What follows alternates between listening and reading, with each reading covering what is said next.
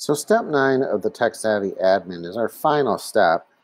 Now, for the Tech Savvy teacher, I added an extra step of just uh, resources about the future of educational technology. So these are kind of maybe predictions and at this point kind of half-baked as far as uh, coming to education. So things like virtual reality, augmented reality, uh, esports. Those are things that are starting to trickle and find their way down into schools, but are kind of being used in very kind of limited ways as it stands right now, but could show some great promise down the line. So just kind of put that in the back of your mind of, of some other things to think about uh, future trends.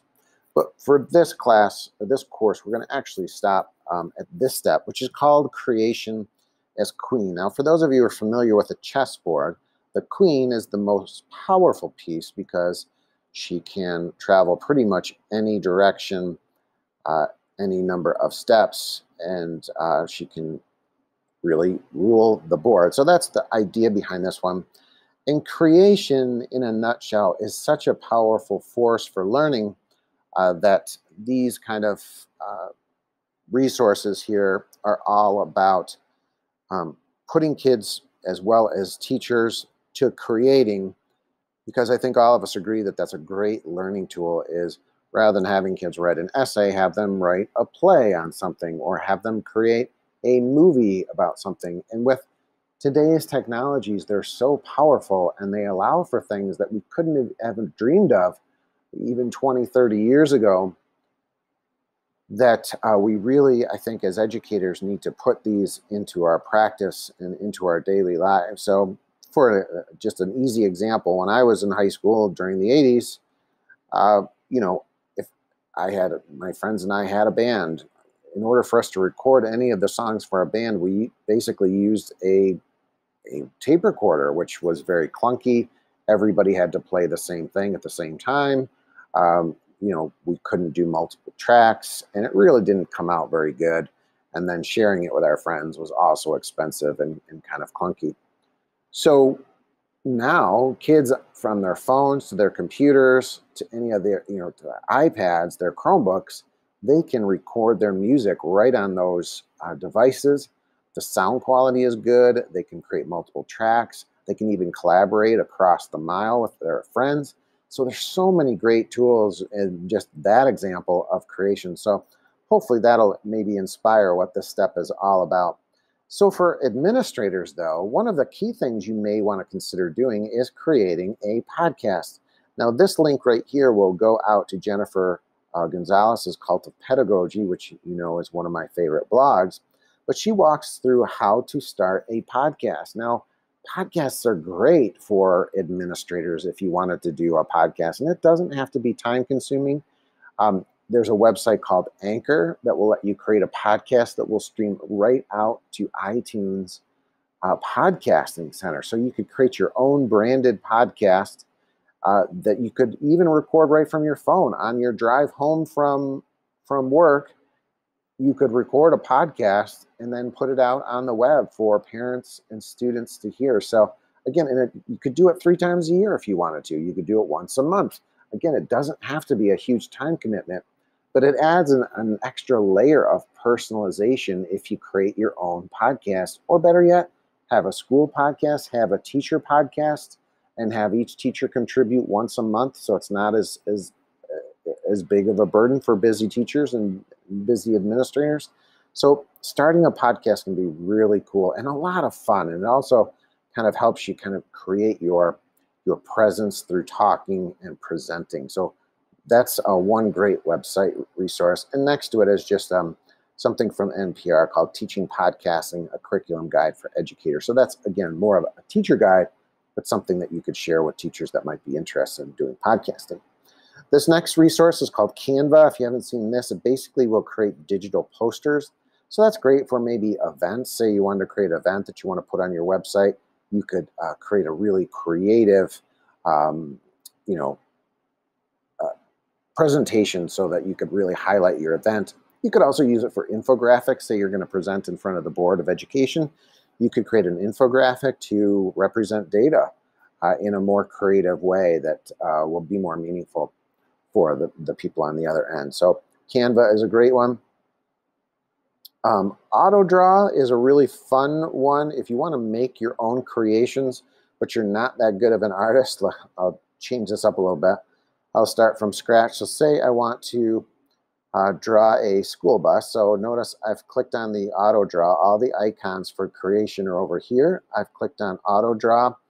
And say I want to make a school bus for a back to school presentation that I'm going to put on my letterhead. And forgive me, I'm using a iPad mouse. So not so not so awesome. So let me just do that. Got a little clunky. Uh, hey, there's a bus. That looks like it. So once you start drawing, uh, the artificial intelligence starts kind of reading, uh, hopefully, your drawing to try and figure out what you're what you're doing.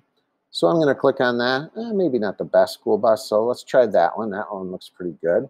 So now I took kind of a clunky drawing and made a great drawing. Again, this is great for some students, especially younger students that may not be able to draw just yet. They're starting to learn. This gives them the opportunity to start a drawing and then go from there.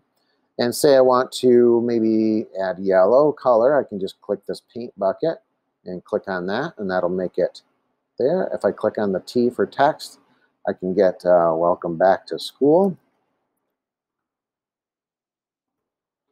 Okay, and then I could even, if I wanted to, click the auto draw again, see if I could create maybe a little person down here.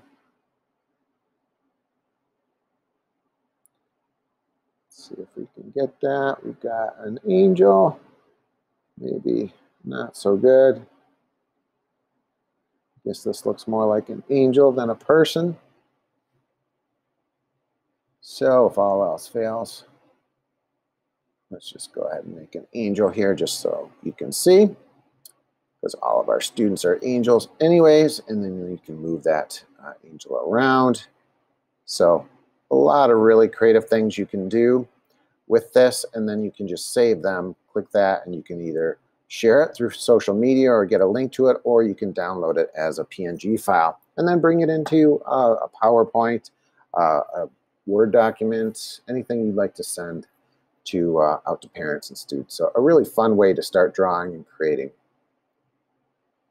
and that is called auto draw. Quick draw is similar, but it's basically have gives you, I think, 10 seconds to draw different items. And so that's really just developing your, your creativity. Um, over here, I've got uh, SketchUp. Uh, SketchUp is a great tool by Google. And if you sign in using your Google account, this is the online version. There's also a, a full, full program that you can start designing um, for your, your CAD kids. But if you go here, I'm just going to make a very simple rectangle. Whoops. And let's just do that. Again, this is very rudimentary, but once I've connected, then I can use my push-pull tool, and I could, again, make this into a house. I could do all kinds of things with it. So this is called SketchUp. It's a free program by Google. Uh, you will need to consider uh, signing up. I think you have to sign have a Google account. So uh, check the, the usage for that. But uh, this is a really fun program for creating 3, 3D designs. So that's SketchUp, and that's the online version. Adobe Spark is a great tool for creating both presentations. You can create books, you can create drawings. Uh, Sway is Microsoft's program, so instead of a PowerPoint, you can create a Sway that'll be a complete multimedia uh, design tool. It's really awesome. Sway, I, I, can't recommend that one highly enough for, for just changing up the dynamic of your presentation. Again, if you're an Office 365 school, uh, Book Creator will create kind of an online book for you. Uh, here's a video contest that you could check out. Again, CoSpaces is a 3D design tool. Again, more for students. Blender is a a high-end free program. Download it to a computer. You don't need an account.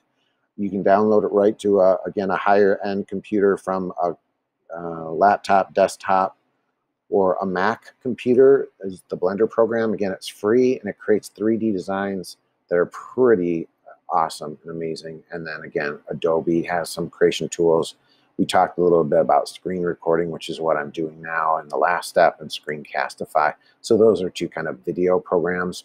Here's a guide for 3D if you want are interested in learning more about 3D. So uh, these are some just great resources to help both you, your teachers, and hopefully students to create. We live in such a powerful age of technology that allows us to create and share. Let's take advantage of them. So that's what this step is all about.